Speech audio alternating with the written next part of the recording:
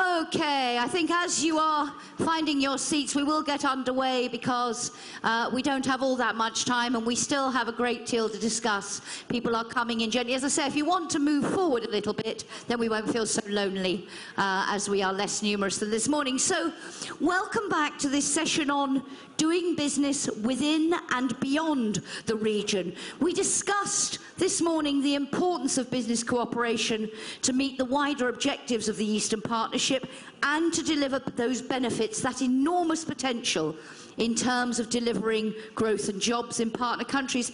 And we underline the opportunities that exist on both sides. We talked about the key challenges to realise that potential and the key steps that are needed to create the right conditions. But all of this, of course, happening in a much bigger context than just the EU and the Eastern Partnership. So we're going to focus on the wider context of a globalised trading system, the opportunities that are opening up for doing business with partner countries, not just with the EU, but with other regions of the world, what impact EU's relations, trade negotiations with other parts of the world might have on partner countries, and what can partner countries to do to make sure they can take advantage of any new opportunities that open up as a result of that. That's what we're going to discuss. With me, I have uh, a splendid panel to discuss this. I'm particularly delighted to welcome Cecilia Malmström, who is the European Commissioner for Trade, uh, Wilhelm Molterer, Vice President of the European Investment Bank, Markus Beyrer, back uh, with us this afternoon, Director General of Business Europe, and Hendrik Bourgeois, who is Counsel for Europe, Head of Government Affairs and Policy for Europe at General Electric. So, let's just jump straight in. Uh, in the European commi uh, Commission's communication on the future of the European neighbourhood policy, it talked about identifying areas of common interest and described trade as one of the strongest. Um, I just want to get a sense from you of how you see now the role of the Eastern Partnership in, as I say, this broader context of a globalised world, developments on the bilateral stage and on the multilateral stage. How does it fit in to that bigger picture? Commissioner. Well, of course it does fit in uh, because trade is still the at the center of the Eastern Partnership and of our neighborhood policy because trade brings so many other good things than just the exchange of, of, uh, of goods and services. It brings people closer to each other, it uh, brings new technology, new ideas, innovation, it makes business, uh, trade unions, uh, people meet in, in, in, a way that, that is integrating and that is uh, beneficial for, for, for the whole neighborhood. Uh, but of course, the Eastern Partnership is, as you say, it's, it's one of, of so many things that is happening in the global world. So everything is in a way connected, but one should not exaggerate uh, that, uh, that either, because of course there are lots of bilateral agreements being negotiated, some, some regional agreements and some multilateral agreements, where of course the, the the countries of the, uh, the Eastern Partnership are to a less or more extent involved as well. So, so it is linked. And of course, if the EU, who are now getting slowly out of the crisis, not there yet, but sl slowly getting out of the crisis, if we, via our different uh, free trade agreements with TTIP, the one we do with the Americans, with Japan and others, if we become a healthier economy, of course, demand will increase and that will, will bring new possibilities for our, our neighboring countries who are looking to explore different different niches and different, uh, di different new areas to have access to our market. So it is linked, all of it, of course, and when we can talk for hours about the, the regulatory convergence and, and, technical things like that, but maybe I'll stop there as an introduction.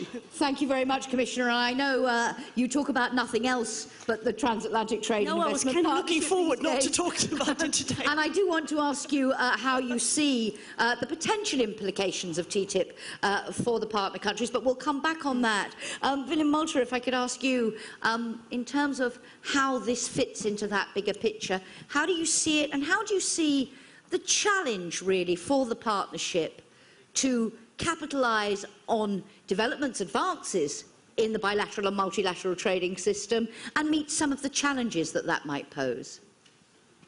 Well, first of all, if you look to the bigger picture, you will see, I'll see it, maybe you, con you, you, you confirm or agree, I see one of the real challenges for the European Union uh, that we go for via the Eastern Partnership countries, via Central Asia, especially the Southern Caucasus, towards Asia.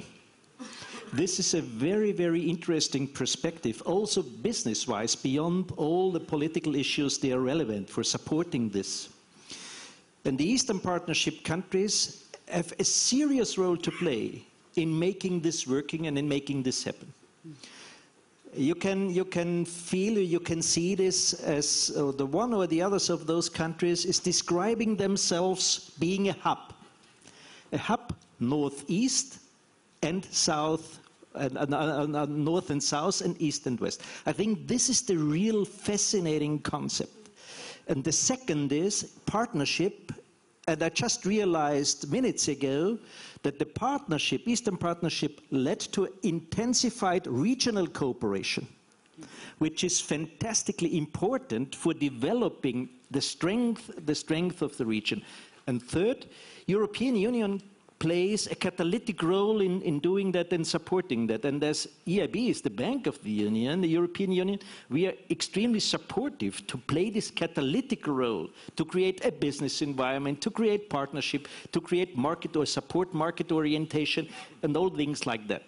And this is, I think, the bigger picture, what we should envisage if we talk about Eastern Partnership. It's extremely important to be, let's say, a key cornerstone of a bigger strategy. Thank you. And I want to come back on that catalytic role and an announcement indeed that has been made today uh, in relation to your role, to the Commission's role, but we'll come back on that in the discussion. Uh, but Markus, if I could ask you, um, the title of our forum today was, and in this session, always referring to and beyond.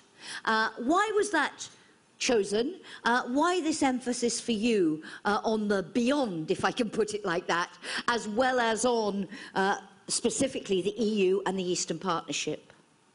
Well, I think it has been stressed already. I mean, it's very important to have this partnership uh, because we need to have a, an integrated area with our neighboring countries. But beyond means, of course, you cannot separate this from the, from the rest of the world, from the rest of the trade relationship. And the Commission has stressed it already. I think the other things we're doing, I mean, the further integration with Japanese economy, with the transatlantic economy, other things, can be drivers for these regions because, because I mean, they can uh, live up to the challenges and be suppliers to European companies and, and integrate in the value chains with the specific advantages they have. And this goes from, from labor costs to others. Mm. So, of course, in order to be able to do so, to come to the challenges as well, they will need to what we were discussing this morning, uh, do the reform which are necessary to, to adapt to our standards, to adapt uh, to the uh, to, the, to, the, to the European legislation in order to be able to be integrated in these value chains. And I totally acknowledge, and, and this is why the role of the EIB, but also in business supporting this is so crucial, and of course the European Commission, this is a hell of a transition process. But I think this is the way forward. And one more sentence for an introduction, we'll come back to this. Uh, Willi Molterer stressed it, and I think this is very important. It's about the, also the regional integration of the area, because it's about uh, economies of scale. And of course, uh, some of the markets are not really large markets, so they need to integrate internally. And this has to do with, of course, also investments in infrastructure and so on and so on. And at the same time, they all need to play alongside the, the same rules. And this means we would very much favor, of course, uh, to have them all in the WTO. Absolutely. I'd like to come back uh, to that in the discussion. But Hendrik, from your point of view, uh, and looking at the opportunities out there for businesses, um, and Mark is saying that, you know, and, all our speakers, you can't separate this from the bigger picture. Do you think there has been a tendency in the past, perhaps, to treat this in a little bit too siloed a way, which makes it hard for businesses to really take advantage of the opportunities within a, a more global framework? I think that's right, to a certain extent. Um, Jackie, I think really the point that I wanted to make is, from my perspective, and I speak just on behalf of one multinational company, is that there is definitely a lot of attraction to uh, regional cooperation, also from the perspective from a U.S. company. Um, you know, having the opportunity to see that uh, countries that engage with the European Union, for instance, uh, in a, a more formalized trade agreement context sends an incredibly important signal to investors, which is we're open for business. And it basically constitutes a declaration of intent that uh, the countries with whom you know the EU and, and the United States as well engages into uh, trade agreements are willing to put uh, efforts in creating the right uh, environment to attract not only more trade, which is important, mm. but the real key is to attract investments. Yeah. And investments is really what's going to make a big difference, I think. And a, a, company like GE, you know, uh, has over the last decade invested tremendously in the European Union and is now reaping the benefits of it because we're, you know, achieving every year approximately 25 billion dollars of revenues in the European Union thanks to investments. And uh, to state the obvious, you know, the European Union today, which is something that is, you know, I think overlooked by conventional wisdom too often, is today's largest, um, largest economy in the world. It's responsible for most economic output in the global economy, more than the United States, more than China. And it started last century as a relatively loose, uh, you know, market integration of six independent nations mm. based on essentially a deep free trade agreement. Mm.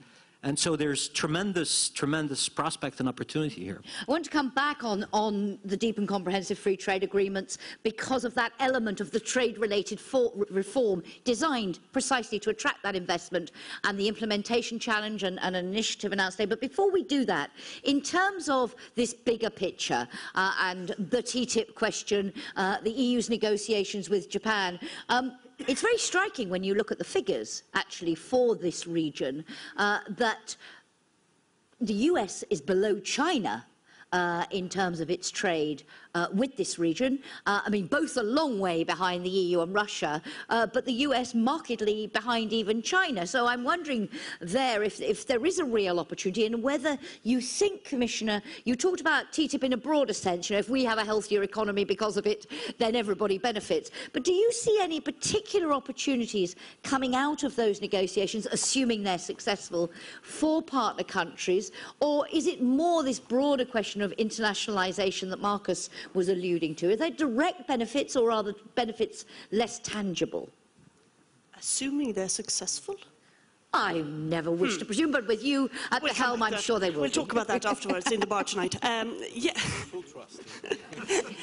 well, um, in, in, general, of course, everybody be benefits of it, but, but I think with our closest neighbourhood, who are now trying to define uh, their possibilities, their, their, ways to interact and to take benefit of the big European Union market, where they were uh, seeking to explore how their small and medium-sized companies can, can, can benefit, how they can link into the European companies, um, I think it, it, creates a big opportunity because then, of course, it can be if European companies are, make more business with the US to facilitate it. Of course, if they can link into the value chain, uh, that will mean a lot of them for, for, them as well, and they are right now exploring this.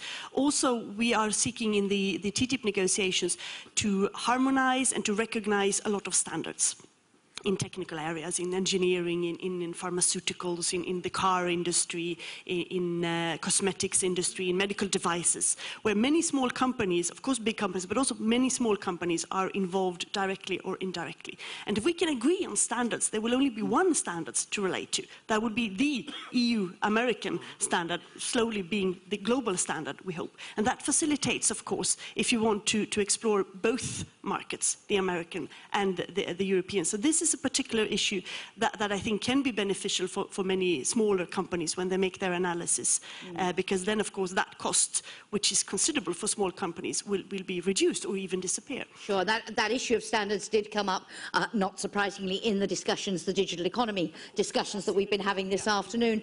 Um, but so, uh, Wilhelm Molterer, big opportunities out there. How can the EU international financing institutions help the partner countries, specifically in this area, or to take advantage of those opportunities? What do you see the role of the partnership, of the EIB and others, in helping to make sure that they capitalise on that bigger canvas, as it were? Well, first of all, I think we have to start with, with, with showing the positive, the positive results we even have achieved within months.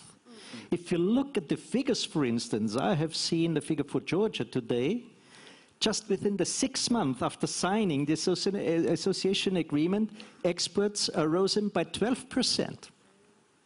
There are even sectors where it was tripled within the six months. That means it is a real positive perspective. The second thing is don't underestimate how best practice is working. The good example is the enemy of the bad. I give you, I give you also an indication. We have uh, uh, uh prepared, based on the DCFTA facility, which, by the way, is a strange abbreviation, but this is another story. It's terrible. It's terrible. to confirm countries in the Eastern Partnership that it is necessary to support the private sector to create an entrepreneurial environment, to go and to concentrate on the strength. One of the strengths, for instance, is agriculture in this area.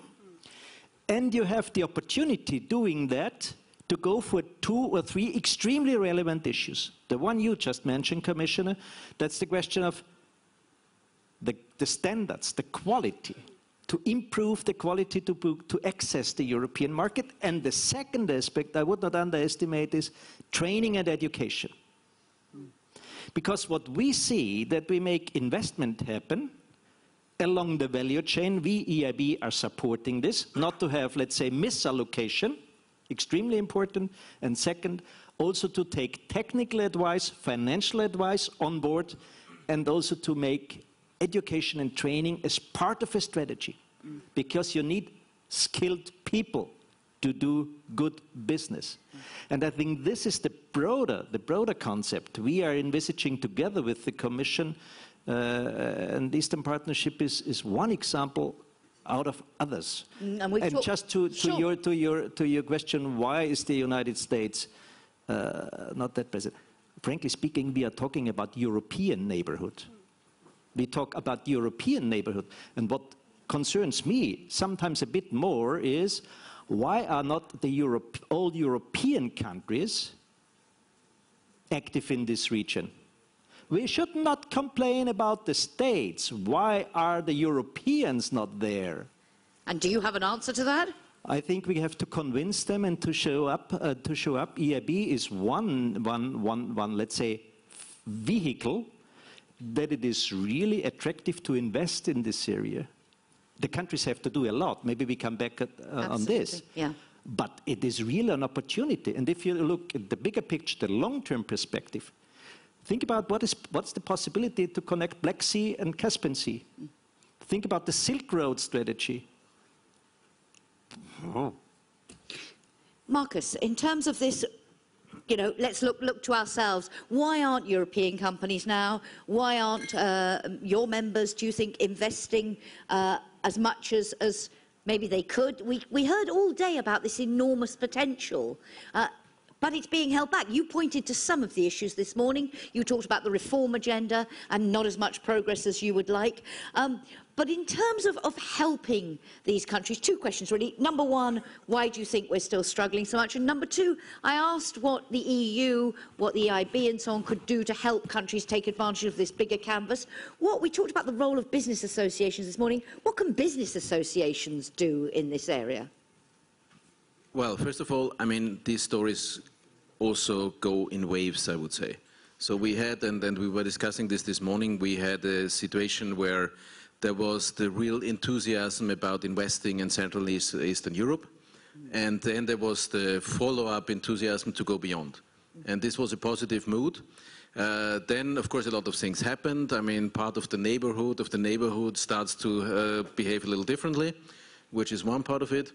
Uh, then, of course, I mean, we had the economic crisis, which is, of course, uh, giving another burden. And, and so, and we discussed this this morning, of course, now uh, in some areas, we, we rather have consolidation tendencies. But I, I'm a strong believer, and, and, and Willi Molterer has stressed it, about long-term strategic approaches. And, and if things are strategically right in the long term, uh, then there is still benefit in, in, in continue to investing it. So what can be done? I mean, first, I mean, we talked about the reforms. This is absolutely necessary. Then, second, it's about uh, making the information available, and it's it's a similar debate we, we in this case even have transatlantically. Even so, it's totally different. I mean, uh, sometimes we, we get the feeling that not all the information is there, so, so you might think about creating internet platforms uh, to, to, to, to, to get the information, what you need to do in order to get things right, in order to be able to go there. Then it's about creating an integrated area, and this is where, of course, beside the states and the companies, also the business uh, federations come in. And uh, my friend Vitalijs Gavrilovs will talk about this in the next panel. Uh, I think there are steps amongst the federations to go in this direction, and this is very important. Then, of course, it's about technical assistance. Uh, Commission does a lot, EIB does a lot. We try to work with our partners in order to uh, to make to make.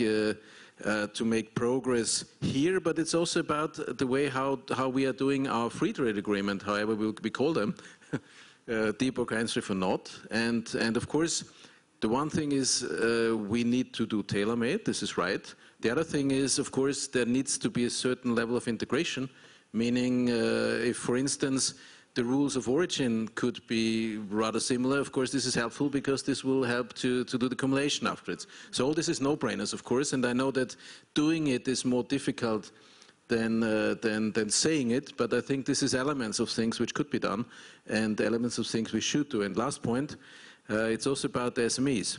Um, and there is the same story. For the SMEs, you need to know what you need to do. You need to have the information. And, uh, and you need to get a security that when you follow certain lines, that, uh, that you will get a certain result. Okay. I want to come back on that, and I want to come back to this new facility. But before I do, Hendrik, I think you wanted to come in yeah, on this point. I, I just wanted to um, clarify or give a little flavor to what Markus said, because I think he's absolutely right. Um, you know, as, as you said, you know, corporate America has not invested in the region as much as, as European companies.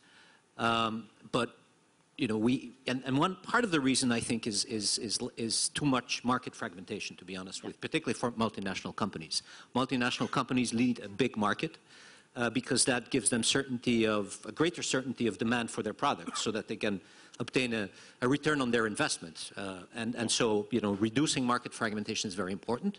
Mark has alluded to it. But at the same time, I think we should not be mistaken and, and assume that removing market fragmentation equals uniformization. Because I think there's tremendous uh, advantages and assets to having diversity.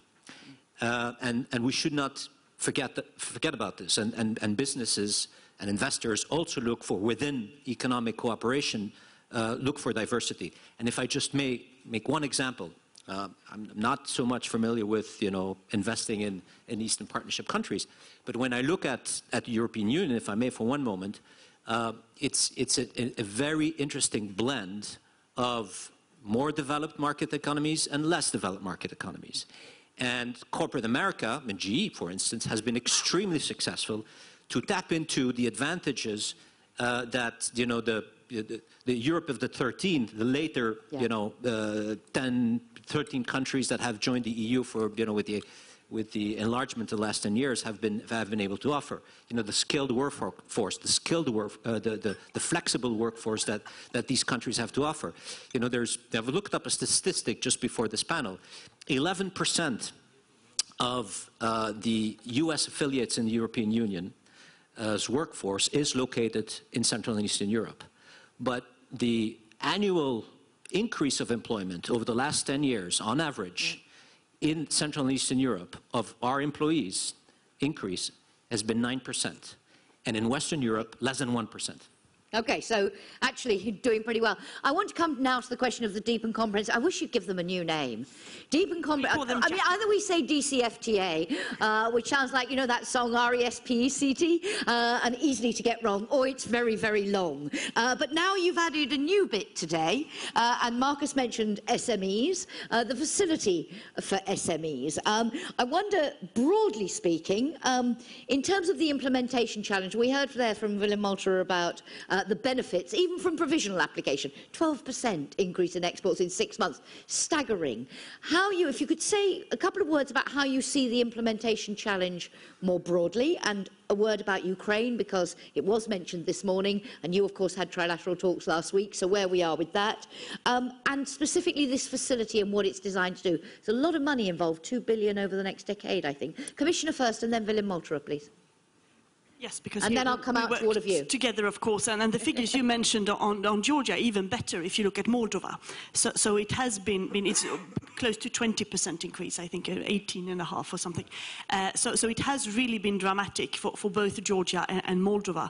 Uh, and of course, they are struggling now to implement it and to get the full benefits of it. I think you mentioned a few of the, the challenges. It's to get the, the, the, uh, the, the, the economic reforms through, increase transparency, make sure that the customs work, uh, fight against corruption, um, the, the liberalization, uh, and well, the whole list of, of economic reforms actually support this, and that is necessary to get the full benefits of it. This um, DCFTA SME facility, I agree, it's, it's terrible. It's a fund for those countries who have free trade agreements with us, Georgia, Moldova, and soon Ukraine, uh, to facilitate the, uh, their economic uh, reforms in order to benefit uh, of it. And it's, uh, it, it's about, you mentioned it, it's about engaging with the, the small and medium-sized companies, is to make sure that there is training, that there is knowledge, it's about informing them about the, the possibilities, it's about helping them to, to implement uh, the reforms, it's about doing the, the, the necessary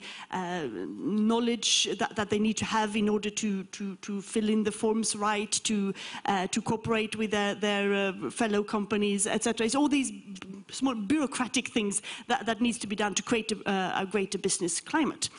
Uh, and, and I think that would be, we, we support it and then the EIB can come in and then there will be accumulative uh, effects that can be uh, considerably uh, important. So on Ukraine, uh, as you know, the, the provisional application has been uh, postponed until the 1st of January, but it will now enter into force the 1st of January 2016. That is sure. Yes, that has been the very clear view of uh, the, the European Union, the Ukrainians, and also the Russians who uh, have said that they, they do not see any, any obstacle to this. There are still some, uh, they have some concerns uh, on this. Some are related to the agreement uh, and can be, be, be, be solved.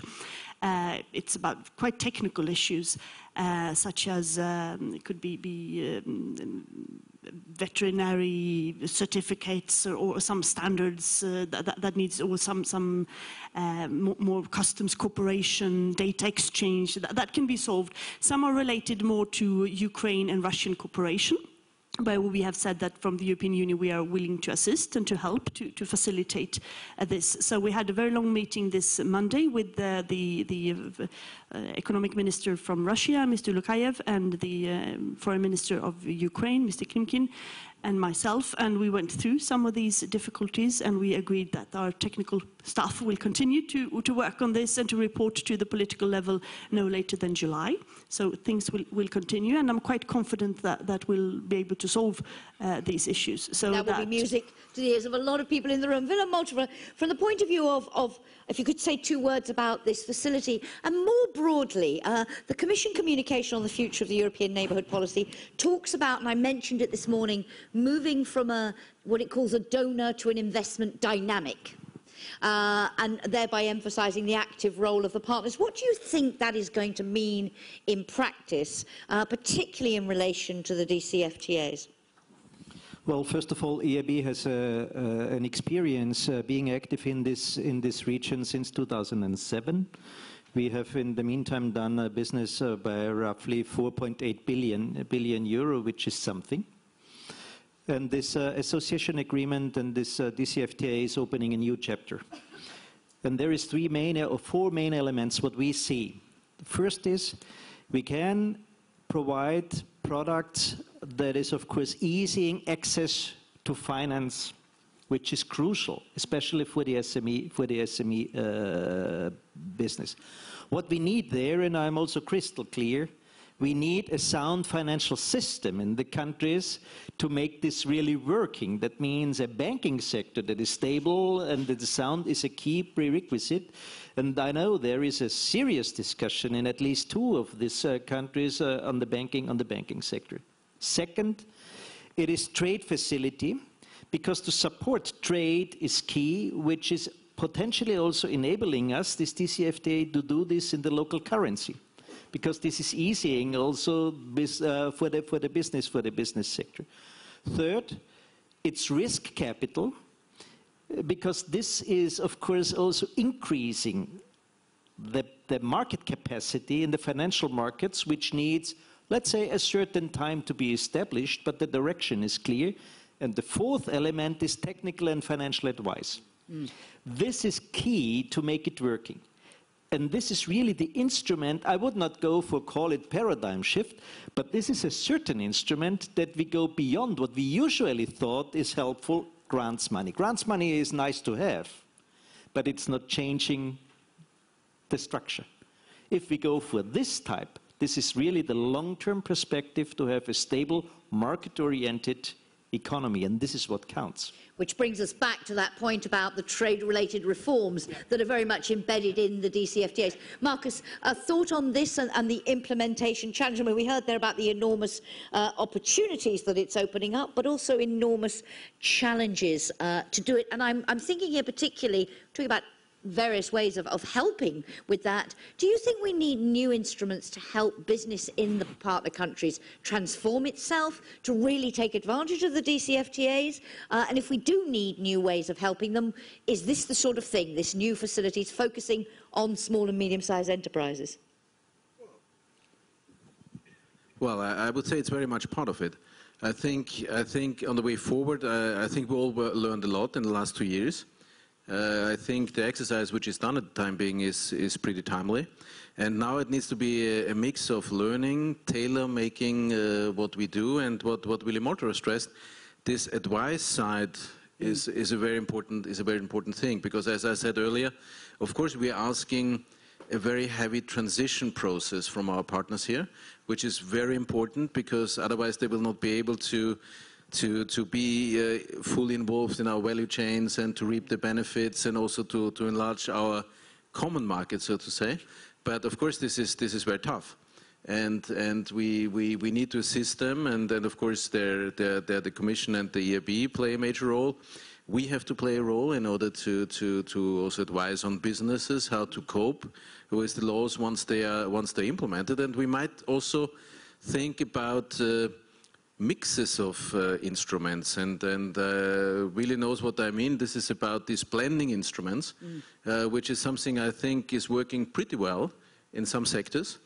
Uh, but uh, but uh, it's not applicable to all sectors. So you put together the grants, the loans, the advice. Absolutely, and, to come up with a and and it's about the whole package. And I think this is a very good uh, best practice, so to say, and, and I think there's value in thinking about to extending this to, to other sectors and, and, and, and to, to capitalize on this positive experience. Because it is true, isn't it, Henry, for any business, but particularly for a small company and so on, that support to internationalise. Uh, that is, is crucial because they see many, many barriers, and they're not just access to finance or funding issue. It is about technical advice, about support. And I'm wondering, presumably General Electric, like many other companies, does partner with a lot of SMEs. Do you see a role for the big multinationals in helping in this process of enabling big and small companies in the region to work with you so that both sides can benefit? Absolutely.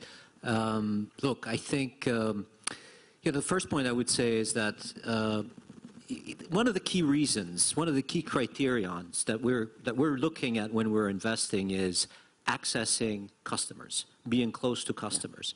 And so, if you want to, if, if, if you want to you know, improve investment, it's not only sufficient to uh, provide financial assistance, technical assistance, which is key. And by the way, if I may open a parenthesis, I, I think there's no any, any good reason why you know, the United States should not pool resources with Europe to, you know, to increase financial resources, uh, financial assistance, technical assistance. I mean, there's, and then when you think about, when you think about the fact that uh, the European Union is, is the, for, for most, if, with one exception, I think, the, the largest trade partner of the Eastern Partnership countries, um, and, you know, Europe is the largest a trading partner with the United States, I mean, it's, it's kind of obvious that their interests are aligned. Um, but to answer your specific question, uh, when we, when we uh, invest, we invest where, where our customers are, right? And so anything that we can do to ensure that we help our customers obtaining commercial success uh, and improving the market conditions of you know the environment where our potential future customers are are, are active is for us, you know, obvious, to, be, to be frank with you. So the And- important thing is for, for policymakers to, you know, to work together uh, and work through the business associations and everybody playing their part. I want to come back on the issue of tailor making, if that's tailor made works. I'm not sure tailor making works in English, but there we go. Um, because I think, Commissioner, we have a particular example uh, this week with Armenia of we had a lot of talk this morning uh, about the importance of the differentiated approach and matching the aspirations and expectations of partner countries. So I want to get a word on that in a minute, if I could. But before I do, any questions or comments to what you've heard from our audience? Does anybody want to join in, or are you happy? Thought you would. Hello, Luisa Santos, Business Europe. Um, on the overall environment, I think there is one aspect that was already raised in the discussions uh, also this afternoon. That's the question of the interconnectivity and the question of the infrastructure. Because I think that's also key when we are talking about the financial aspect, we're talking about the capacity building, we're talking about better integration between the countries and between the business, but the infrastructure is key. And it plays a huge role in ensuring this, this integration. So I would like to understand a little bit from uh, the speakers, and in particular from the European Investment Bank, and also from the European Commission, because I think there is an effort where the financial support is key, but also the, the legal framework is important. Sure. So if these partner countries are to take full advantage of this global opportunities, they need both. How do you see the role? I'm sure it's also an issue we're going to come back to in our last panel. Any other questions? I see one right down here. Somebody who wants to make sure that I stay fit this afternoon.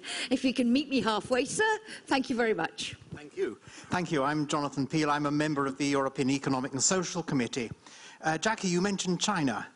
And of course, the Chinese initiative of the Silk Road Economic Belt, and I think they're pouring in a lot of money, something like $13 billion, is it? Um, Central Asia, of course, has been mentioned too, and the strategy review is high on the uh, presidential uh, priorities for the Latvian presidency. But the Silk Road obviously leads into the Caucasus. And how far is this relevant to what we're doing with the Eastern Partnership, uh, particularly in the Caucasian countries? And how far is this part of our strategic partnership with, the, with China?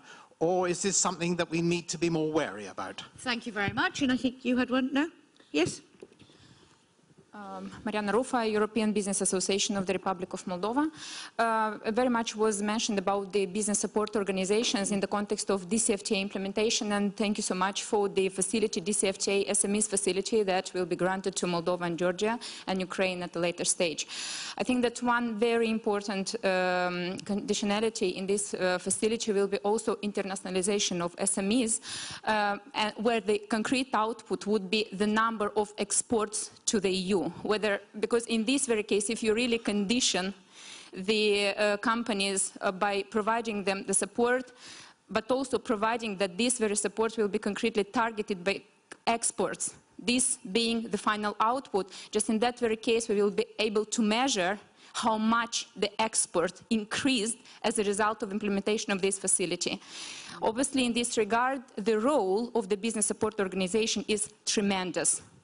Because on the other side, we will be also uh, able to um, streamline our lobby activities and to facilitate export, but providing that uh, SMEs internationalization is the final output. Thank you so much. Thank you very much. Any last quick one, or shall we go back? Wilhelm Molterer, uh, a question relating there to the interconnectivity and the infrastructure. And I should say there's a very interesting point that came out uh, of the discussions uh, in the transport and logistic groups about we tend to focus on new infrastructure, where the gaps in infrastructure are. Are we also focusing enough on maintaining and repairing what's there? Just throw that in because it did come up in an earlier session. Well, first of all, First of all, infrastructure is one of the key parts of our activity in this, in this area. Second, it is not EIB just. I would, I would simply say thank you also to other IFIs because in infrastructure you need partners. This is KfW, this is EBRD, this is everybody is, is, is really there and we are absolutely happy to intensify the cooperation with the IFIs. connectivity is one of the key elements if you go for this bigger picture. And as Southern Caucasus was mentioned, I think that we have to that we have to see what I said in the beginning, this east-west orientation. It is not just the Silk Road. Think about what will happen if and when Asian Infrastructure Investment Bank is going to be active, and this is from next year. We have to be ready to cooperate with them. But I see also the north-south dimension, and I give you an example. We are active together with World Bank and others in Kyrgyzstan and Tajikistan to support uh, an electric grid, which is of course providing electricity out of the Caucasus towards Afghanistan and Pakistan. This is a dimension we are re not really envisaging up to now. That means for us, infrastructure is more than just highways and railways. It's especially also relevant for the energy sector in this area and the region. Therefore, the regional aspect is, is key. On the internationalization, and, and, and Moldova is a good example, I fully agree.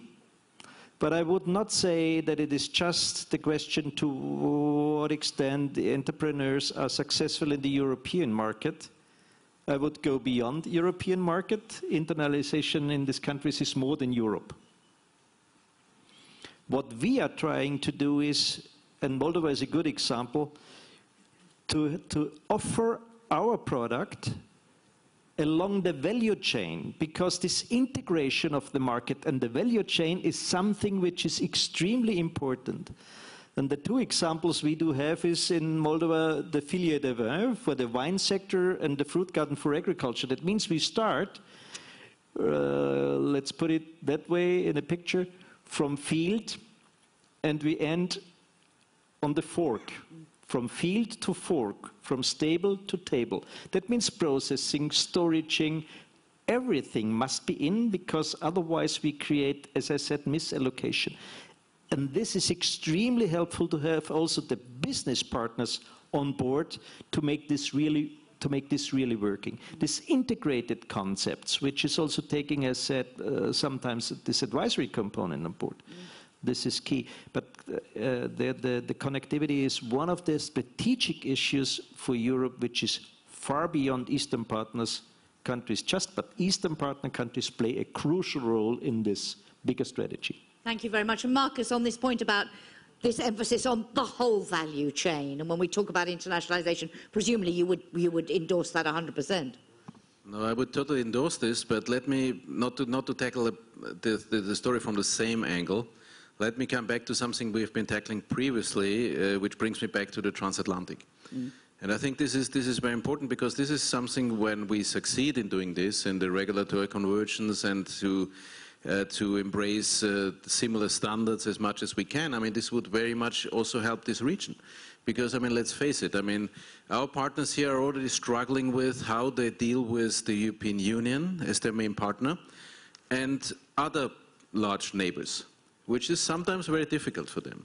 So, if in, in an economic sense we also uh, behave like competitors, in investing and, and asking them to apply with certain standards, I mean, this can get very confusing. So what do I mean? I remember when we negotiated with our friends in Romania in the accession negotiations, they had signed an agreement with the US that they would apply Russia, uh, US standards. Um, well, back then the Commission told them, well, look, I mean, you will have to make up your mind whether you want to be part of the United States of America or uh, of the European Union. But what I mean is, uh, the more we agree on common standards, the better it is for the market. But of course, the easier it will be for our neighbors to know with what they have to uh, to cope with in order to be fully fully involved in the value chains. Can I just ask you also? You mentioned because we don't have much more time, Markus. Just to follow up on that, um, but it's a separate question. You mentioned the WTO. Yeah. Uh, and can you tell me how you see uh, the future in terms of these countries, the WTO, and how uh, this all fits into that multilateral pattern? Because you raised it and we don't have long, so I wanted to pick up on it now. Well, I mean, we have out of the six countries, we have two, which is uh, Belarus and Azerbaijan, which are not member of WTO. And, and certainly, I mean, there's progress. In the area, no, not at the same pace, I would say, but I think there's progress, especially for Azerbaijan. But certainly this would help, because the more, uh, the more we play to the, same, to the same rules, the more it would help to integrate the, the area, uh, and maybe also beyond, and, and the more it would also help to solve uh, also questions with some of the other neighbors. Thank you. Hendrik, did you want to come in on reacting to that or, or indeed on this WTO question? Then we'll come to the tailor making, if I may. In one word on the WTO, I think we need to be practical and focused. Uh, I think the WTO is a great um, organization. It's wonderful in, in principle. But when the going gets tough, I think we should be focusing efforts on bilateral agreements. And I think that's what we're doing, uh, number one. I wanted to pick up on the point of exports. Please do. Um, yes, absolutely. Exports and even, you know, providing preferential access, uh, even if it's not bilateral, I think in certain circumstances is absolutely necessary because we can't be, from European Union or U.S. perspective, penny wise and pound foolish. Uh, and so, you know, I think it's really, really clear that we need to keep our eye on the prize. However, the whole story is not exports, increasing of exports only. It's also about being smart about imports. And, and I think that's something that's very often, you know, uh, left outside of the picture. You know, it's, if you increase trade through cooperation agreements, not only, yes, you create increased opportunities for exports, absolutely, but you also create capacity for local producers who have the opportunity sometimes to import products at a much cheaper uh, at an economic, much more intelligent way than if they do it purely domestically, particularly if you're able to, you know, uh, uh, remove barriers to imports and tariff barriers and what have you not, or to Markus's point, you know, standards. Okay, thank you. Commissioner, please do pick up on any of those points if you want to, but I want to come to this issue before uh, we try and draw some conclusions of differentiation, uh, because uh, we know it's already in the Commission communication as one of the key areas to look at now as we undergo this review. Um, but also we heard a lot today in our panels this morning about the importance of tailor-made approaches, about making sure that you fit the expectations, the aspirations of the partner countries, otherwise you don't get the shared ownership, uh, you don't, which is vital to drive the whole process. Um, you have an example this week, I think, because one of the questions in that consultation is, do we need new instruments, different tools, that DCFTAs, association agreements, don't work for everyone, we know that. Um, there is a development this week that suggests we're beginning to go down that road with Armenia, I think. Can you tell us where we are? Indeed, and, and, that is key in the, uh, the Eastern Partnership strategy, that we need to find ways that everybody feel comfortable with. Of course, the DCFTA is, is, is there now with Moldova and, and, Georgia and soon with Ukraine. Uh, that is not the model that the three others have, have chosen. Uh, with Armenia, just yesterday, we sent a request to the, to the Council, the Council of Ministers, to get a mandate for a non-preferential trade agreement with Armenia that will uh, be, be, fully compliant with their aspirations also to be in the Eurasian uh, Union, but that will cover a lot of issues such as technical cooperation, standards, competition, customs, transparency, procurement, sustainable development. I mean, a whole range, I think, of 13 different areas where we cooperate. So that we hope that the Council will give us the mandate uh, to, to, to, sit down with our Armenian friends and to negotiate and come that. And then we'll be open to find ways also with, with Azerbaijan and, and, and with Belarus, while, of course, supporting them for their WTO aspirations, because that's important for whole kind of, of reasons. Uh, but I think that, that's the way to go. And also to the question from my friend from the um, committee down there. Uh, this, your question is really the title, Beyond the Region. In the review that the Commission is now, now doing together with the stakeholders, with, with your organization and, member states and European Parliament on, on the new uh, neighborhood policy, we are also talking about the neighbors of our neighbor. So of course, where is, is the limit to, to that? China is maybe a little bit uh, too far, but China is important for so many other reasons in, in our trade and, and political uh, agreements. But, but certainly there, there is a point to, to, to look neighbors, but also the neighbors of the neighbors, because everything is, is uh, so connected. Thank you. Oh, and word on this differentiation. Uh, is what is happening with Armenia the way forward, do you think? Is this the approach we're going to need to make sure?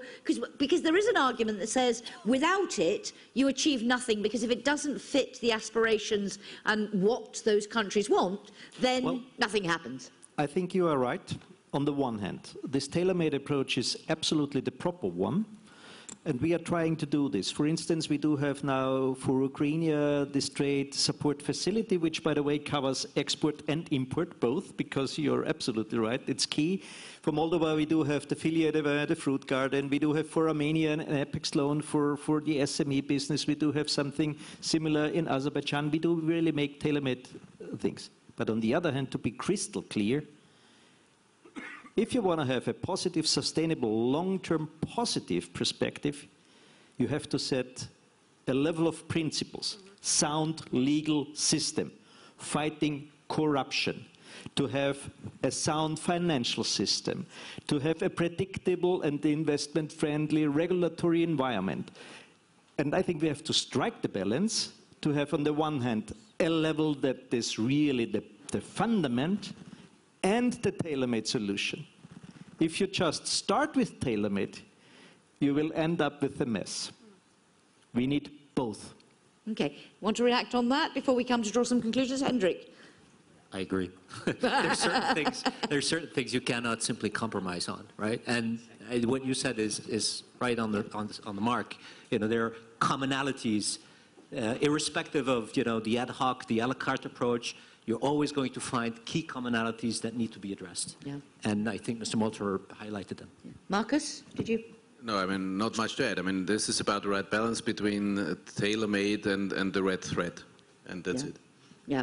Okay, um, we are almost out of time, and I want to uh, do what I've been doing all days, and it can be uh, in relation to this broader canvas of multilateral trade, bilateral trade deals, all of that, or it could be outside of this zone. But each, each session I have wanted to go back to the title of our overall forum today and ask you if for each of you you had to identify one priority, and Hendrik, I'll start with you because I asked you the first question last. One thing that we need to do to ensure, and in your case, let me put it like this, that companies like yours will, you talked about what you've done in Eastern Europe, but will seize the benefits, the potential that may be out there uh, to use the Eastern Partnership uh, to really realise a lot of business potential. Everyone says it's there. What for you is the most important thing that needs to be done from partnership perspective, but also from a business perspective? We talked about the role of business associations to make this a place where you as a company want to go,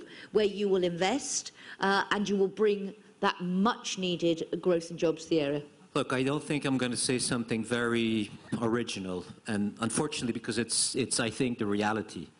Um, I'd say two things. I'd say number one, as I said, we go where our customers are. So if we want to invest in, in any of the partnership countries, you know, we'll have to have business partners, which means we need to have economic reforms to encourage local economic development, to support the commercial success of domestic firms. That's what's going to attract investment from our perspective, number one. And number two, you know, we need, we need a increased predictability and transparency that will have return on our investments, which means the rule of law, right? And, and there's no way around it. We, we, we push, we're in favor, we advocate in favor of rule of law, not only because it's an ethical thing, but it's, it's sound and wise business to insist on these things. Markus, so I are- asked you this in a narrow question, so can I ask you here to focus your priority here uh, on, on this question of, of this globalised trading environment, this beyond that we've been talking about? One priority for you, and you, it can be for business, it can be for the policymakers, uh, to make sure that this partnership really can deliver in this broader canvas that we've been talking about. Then I have to make three points. The first one is I want to fully underline what, what, Hen, uh, what Hendrik said on the transparency. I mean, this is really key, and uh, this we need to, to attract investment. The second point uh, is, is about SMEs, as Hendrik has tackled larger companies, and this is about information. It is about uh, spreading the information uh, for the SMEs in the partnership countries, but also for the SMEs in the European Union Yeah. about the benefits of the DCFTAs and their related programs. Because, of course, we have a job to, job to do there, but we will have to find more ways to really make this message known because we, we are still not there. And the third point, as you have been asking about the broader uh, the broader perspective, and uh, let me come back to what I said earlier on the transatlantic. I mean, if we can fix this, I think uh, I think we have a much better opportunity in in, in integrating further. Thank you very much. Wilhelm Molterer, your top priority. It's twofold. One is market orientation gives the right direction for transition. And second, we should take into account that we talk about partnership. And partnership never is a one-way communication. It's always a two-way communication that mean, means we, members of the European Union, can learn a lot from those partners. Thank you very much. And that's a topic I'd like to come back to in our closing panel because we have talked a lot about equal partnership uh, and exchange of experience. How do you make that really work? How do you make the partnership bit of the Eastern a partnership? But, Commissioner, uh, before we move on, for you, the most important priority to strengthen the Eastern Partnership from a business perspective?